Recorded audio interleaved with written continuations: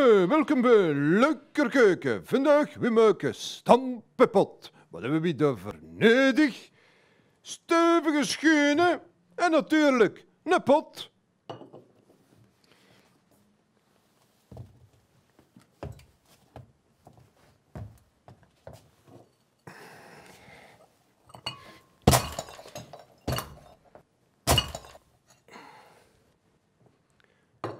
En kleur.